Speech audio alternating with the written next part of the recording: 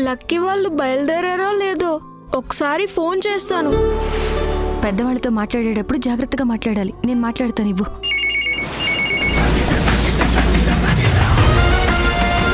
Hello? Hello? తనతో ఫోన్లో మాట్లాడిన లక్ష్మిని అరవింద గుర్తుపట్టగలదా? చిరంజీవి లక్ష్మి సౌభాగ్యవతి. మీ జీ తెలుగులో.